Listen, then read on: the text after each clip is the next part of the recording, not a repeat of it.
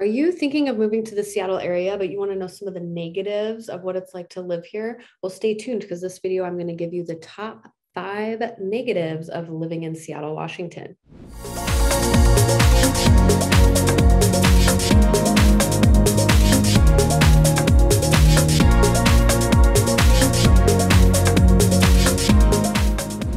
Everybody. My name is Tova Williamson, and I am a local realtor here in the Seattle metropolitan area. And I shoot tons of videos of what it's like to live in Seattle and what it's like to move here. Um, so if those are more videos that you want to watch, go ahead and click the subscribe button. And don't forget to click that bell so that you'll be notified every time a new video comes out. We honestly get reach outs every single day from people that are wanting to move here. And we love hearing from you guys, but we can't help unless you reach out. So give us a call, email, text, whatever you got to do, because we got your back when you're moving to Seattle. Okay, so today in this video, I'm going to talk about the top five negatives of living in Seattle, Washington. So, you know, you always hear about the good and the bad. Every area has got its good things and its bad things. Um, so, these we're going to talk about some of the bad things of living in Seattle. So, number one is weather. I'm sure you've heard it all before.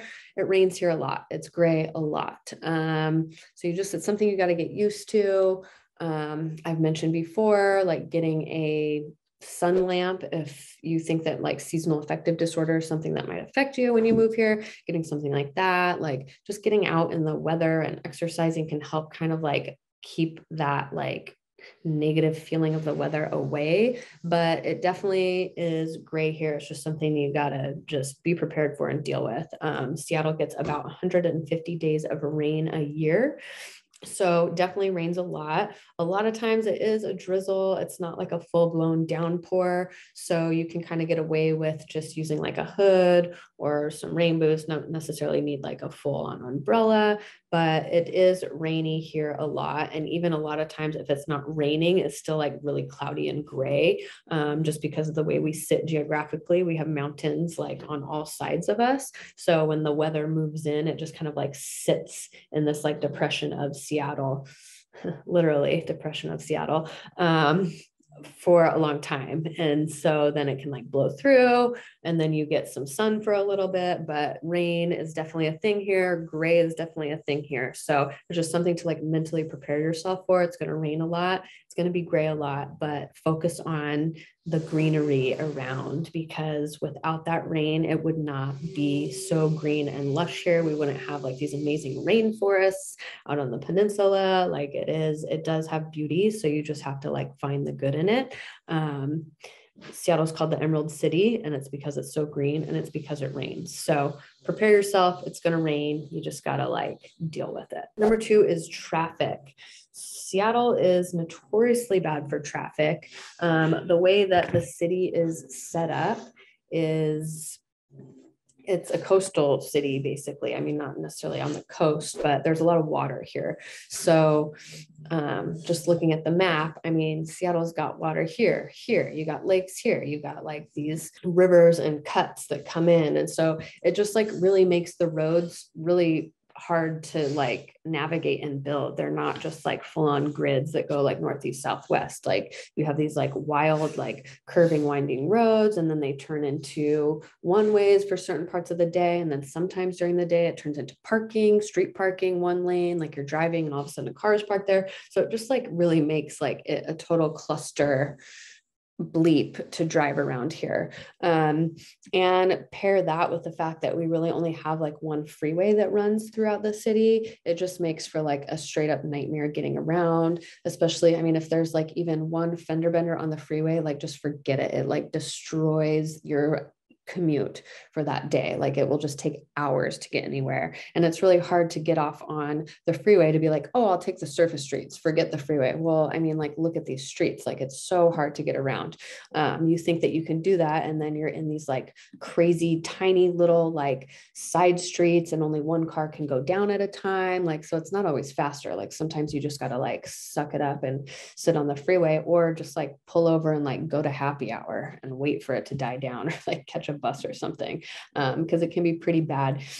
So that coupled with like road work that's like constantly happening at certain parts of the city um, and certain suburbs of the city. I mean, like Tacoma area, if you're living down there, like anybody who knows, Tacoma's road work has been going on for, I mean, like forever. Like, I don't know if it'll ever be done, but it's just like it's so bad down there. It's always constant. It doesn't matter what time of day you drive in Tacoma, you're going to hit traffic. So it's just kind of a reality in this area. The public transportation is okay, it's not amazing. So, you know, it doesn't really alleviate a lot of the traffic. The light rail is coming it's going up north, it's going south. Um, so that hopefully maybe will reduce some traffic, but I wouldn't count on it. It's still going to be pretty bad.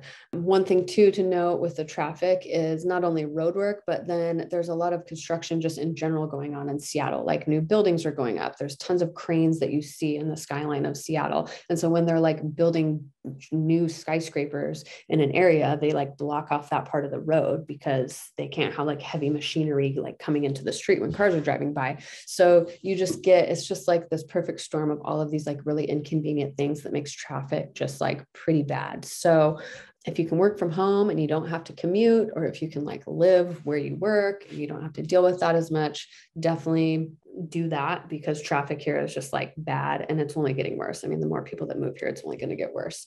Um, so that's just something to prepare for. That's like a big negative in the area. Number three is Seattle has a pretty large homeless population. Um, it's one of the, I think it's like in the top three for the country for homeless population. Um, so it's just, it's a really unfortunate problem. It's only gotten worse since I've lived here. I've been here like 12 years now. And I mean, it's just gotten worse. The more people that move here, the housing prices are going up, more people are being displaced. Um, you just see a lot of homeless people, especially in the downtown area. There's homeless encampments all over. Um, drug use is pretty like prevalent in those homeless camps. Some violence happens in those homeless encampments. So it's pretty rough. It's a really complex and like big issue that needs to be dealt with doesn't really seem like much is happening with it. Um, it's just really hard. I don't think there's any one solution to it, but it's just something to prepare yourself for, especially if you're moving here somewhere that's like not a city and you're not used to seeing homeless people. Could be in for like a pretty big shock when you come here um, because you will see that, especially downtown. Um, so I'd say if that's something that you want to avoid and not have to like deal with, moving to the suburbs where you do see less homeless people um, in the area. Seattle did just recently elect a new mayor. So whether or not, you know, the new mayor is going to make any changes or do anything to help remains to be seen, but it is definitely something that affects our area. And it's just a really unfortunate problem. Number four is cost of living. So this area is pretty expensive. In 2019, Seattle ranked as the fifth most expensive city in the country. So it's definitely, you know, prices are up there, especially with housing. Rents and like home purchase prices are very expensive.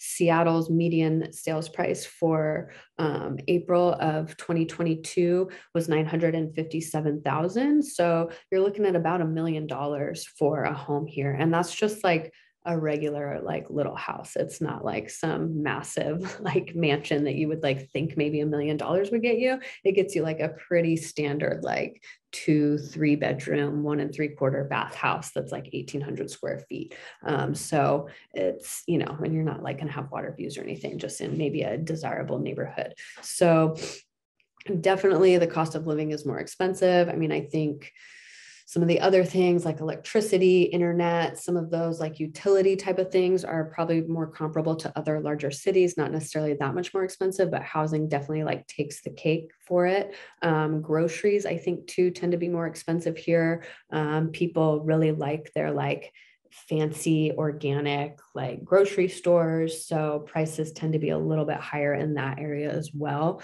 um, there's not sales tax here. So you get a break on sales tax on your groceries. Doesn't really like equate to much, but it does, you know, that is something to consider. Also, um, the median income here is higher, like the cost of living is higher. So the median income here is quite a bit higher than other areas. Um, it's still you know, sometimes like not enough to pay for a million dollar home, but the minimum wage is $15 an hour in Seattle proper. So definitely, you know, you get paid a little bit more here. There's a lot of like tech companies and high paying tech jobs. So that just brings people with money here and they can afford to spend the money on some of these more expensive houses. So um, it still just gets more and more expensive in this area. So that's something to consider if you're moving here um, and you get a good job and you're like, wow, that's a lot of money. Like think about it in terms of housing too, because sometimes it's like, well, it might not balance out as much. Like you're still not like you're going to be living in some mansion just because you're making $150,000 a year. So cost of living is definitely high here. So just prepare yourself for that. And the number five negative in the area is just kind of the general lack of diversity. Seattle is not the most diverse city, especially for like a large city. Um, it's mostly predominantly white based on the 2020 census.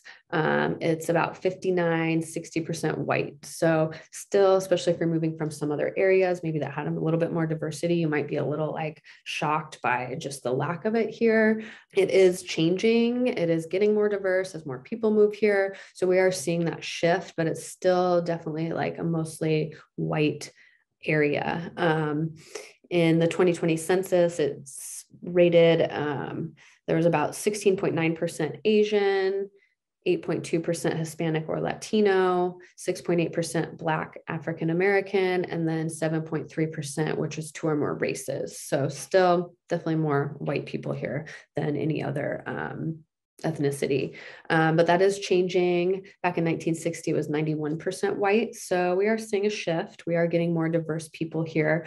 Um, so, if that's something that you're looking at, like, don't let that stop you, especially if you're a more diverse person yourself like we need that diversity. So you know come and like help make it more diverse. So that's sometimes i think just a shock for people or just like a negative. It's just like oh it's not very diverse. So um it's getting there but definitely can be seen as a negative. So there you have it. Those are kind of the top five negatives in the Seattle area. So moving to Seattle or a new city can be really hard, especially when you don't know the areas and when you're trying to figure out where you want to live. So that's what we're here for. We're here to help. We love hearing from you guys, but you got to give us a call. We can't help unless you call. So call, email, text, and we'd love to hear from you. We've got your back when you're moving to Seattle.